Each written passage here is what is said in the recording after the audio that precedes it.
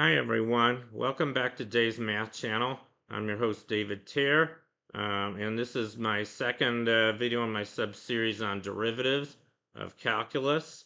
And today I'm going to talk about the power rule. I'm going to derive a power rule, which is a very important uh, rule in differentiation, differential calculus. It says that the derivative of x to the nth power is equal to n times x to the n minus first power, where n is an arbitrary non-negative integer.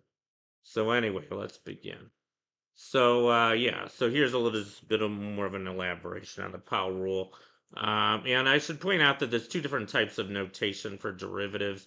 Uh, one of them is due to Isaac Newton. He was uh, the first person to invent calculus. Uh, um, he was from England and he invented calculus. Uh, he called it fluxions, and it was part of his uh, um, physics, you know, his his classical mechanics, which he um, published in the Principia.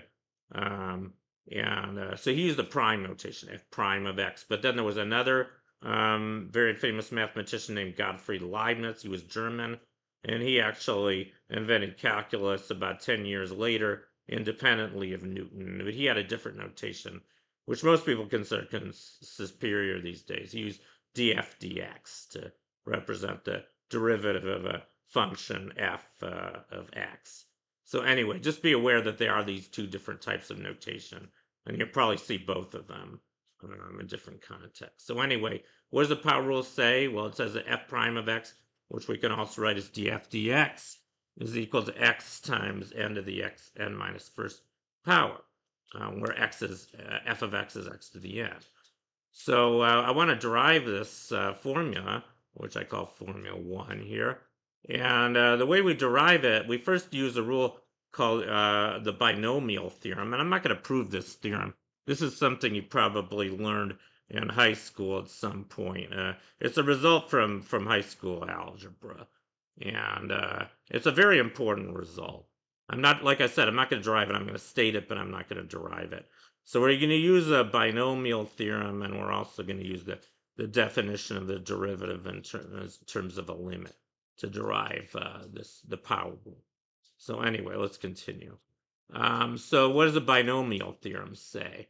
Well, binomial theorem just says if we have a, a binomial, in other words, the sum of two terms, which as a plus b, if we raise that to a, a um, non-negative integer power n, a plus b um, to the nth power is equal to the sum. Uh, sum, um, and this looks kind of ugly, but it's a it's a finite sum It's a sum n choose k, these are binomial coefficients, um, times uh, a to the uh, n minus k times b to the k.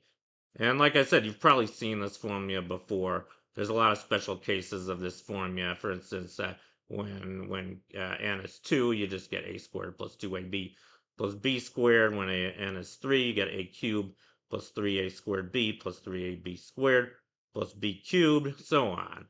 Uh, another place you've seen these four, um, binomial coefficients probably is in Pascal's triangle. They're just the numbers in Pascal's triangle. But anyway, enough of that. Like I said, I'm not going to derive this formula. Uh, and there's a formula for the binomial coefficients, which I wrote down in equation 3. You can write it in terms of uh, factorials. n choose k is just n factorial divided by the quantity k factorial times n minus k quantity factorial. And uh, the, we really don't care about most of these coefficients for what we're doing today. We only care about the first two. It's enough to note that n choose 0 is 1. That's pretty easy to see. Uh, and also n choose 1 is n. That's all we really need. And then uh, for all the other higher order terms, what we note is that they all involve powers of b that are at least 2. And uh, as it turns out, that we can we're we're going to be able to ignore those terms, as you can see. So we don't really need them. So we can write, we can, we can kind of simplify the uh, binomial theorem with equation four, just as a plus b to the nth power is a to the n plus n times a to the n minus one times b plus, and then I write this thing called big O. This is big O notation. Don't worry about this too much if you haven't seen it, but it's big O of b, b squared. What that really means is we can ignore all powers of b that are uh, um, less than b squared in this case. So we can ignore b. Uh, the, the result just uh, depends on powers of b that are at least 2. And if b is small, then it's going to go like b squared, which is even smaller than b. And b is actually going to be h. It's going to be the thing we're letting go to zero. So um, that's why I mentioned this. But anyway, let's let's just complete the proof. So here's the proof. Uh, so uh, I did a proof similar to this a few days ago. I did the case where where the power was 2x squared. You might remember that proof. Um, but here I'm going to do in general where n is an arbitrary non-negative integer. So we just use, we start with the definition of the derivative as a limit. So we have f prime of x, the definition of that is just the limit as h goes to 0 of f of x plus h minus f of x all over h. And now we plug in what f is. f of x is just x to the n.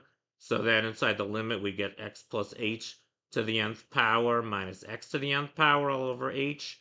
And then now we can use the binomial theorem to uh, expand the uh, binomial on the left in the numerator, and then we just get x to the n plus n times x to the n minus 1 times h, and now I have this term O of h squared, which we're going to see we can ignore, minus x to the n all over h. And I think you'll notice now that the terms x to the n cancel, and when you cancel them, you just get in the numerator, you get n x to the n minus 1 times h plus O of h squared all over h, and so we can divide both the numerator and denominator by h.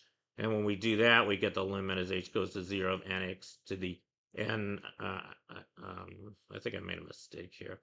Um, yeah, this should be, yeah, no, I, I wrote it right.